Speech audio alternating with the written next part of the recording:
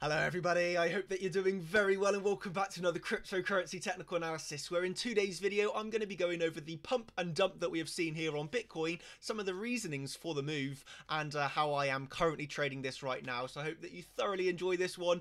And uh, let's begin before we go over what's happening now. The the rise and dump that we saw last night. Okay. Um. So in, in my opinion, there was a few reasons for the rise. Okay. Firstly, uh, currently, like we're still doing now, we held weekly support. Okay. Okay, so 8,750, no close below.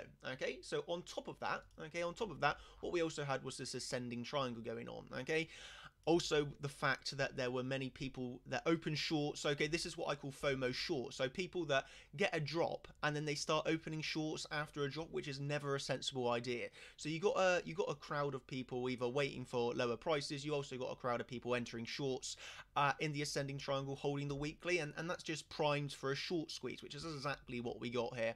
Uh, you know, with that straight move up, you got a lot of liquidations going on, just a, a straight move to the upside. Okay. I was actually long inside of the triangle, closed out my long, and uh, then we were left within this little range. And if we come down to the five minute, I'll go through this one with you. Uh, what we had was a obviously the high upper high of the upper wick, which was onto monthly and weekly open.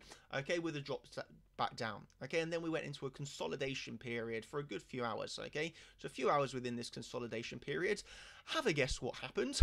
Breaking up outside of the con consolidation to the 618. How many times have we seen this play off so perfectly?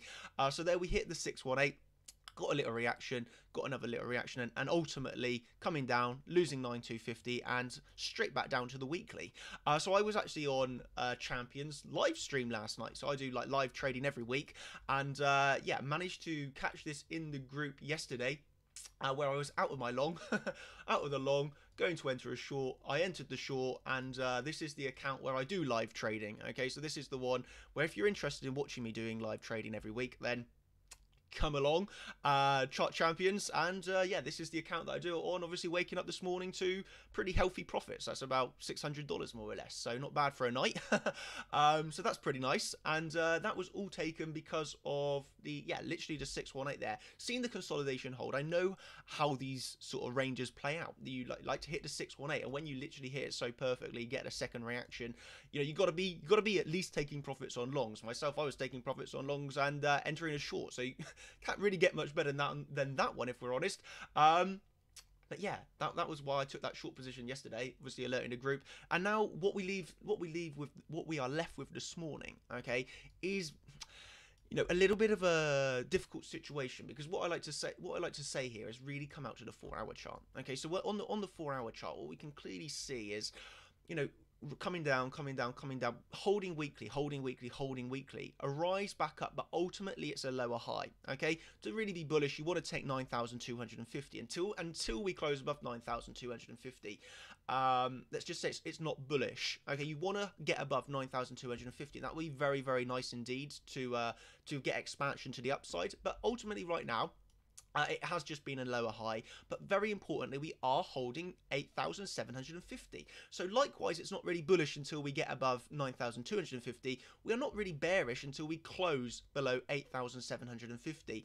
13 minutes left on this four-hour close. I'll be, you know, I'm going to be around for the next 30 minutes. I'll, I'll be trading this for the next 30 minutes uh, when I get off this video. So, um, you know, that's that's what I'm looking at. This four-hour close, 8,750, 9,250. Those for me are the most two important levels on the chart, uh, and then ultimately it's more of a case of I'll be less aggressive trading Bitcoin and I'm going to be trading altcoins heavily today. So I'll be trading altcoins. That's going to be my day today. Um, so I'm thoroughly looking forward to that. I love trading them. Um, so if you are, yeah, that, basically that, that's all I wanted to give in this update. I'll be keeping my eye on the monthly, the weekly, looking for closes above or uh, below to trade Bitcoin. But ultimately, I'll be trading altcoins throughout the day today. If you are interested in getting these updates that I give to the Champions Group, where along with that, I'll be giving the altcoins that I will be trading today, um, then feel free to come and join us over at chartchampions.com. I mean, what's not to love about it? Literally getting getting paid with me along with uh, learning. I mean, that's like a dream no. Um so yeah that that's obviously pretty nice indeed. Um so i hope that you've thoroughly enjoyed this one and I will catch you in the next technical analysis. Just a bit of a quicker update to today, just because the levels are really, really clearly defined. I don't need to go on for, what is this, four minute video, but I think I've covered everything that I need to cover. Literally the weekly, 8750, the monthly, 9250, a little range in between, ascending triangle, breaking up. Oh yeah, I'll mention the futures gap. Okay, so we did break up with a futures gap last night. Okay, so this is the last thing I'll end with. We obviously had this futures gap breaking up.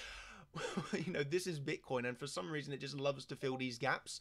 Uh, so we did get another gap fill. Okay, so we obviously rose up overnight, got that CME futures gap, and there's the gap filled uh, by the next morning. So, um, yeah, th- there's a perfect gap fill on the CME futures for you. Uh, so that that was now filled. So there's no need to worry about this anymore. Um, so I hope that you've thoroughly enjoyed this one, and I will catch you in the next video. Cheers, everybody. Thanks, and have a great day. Bye.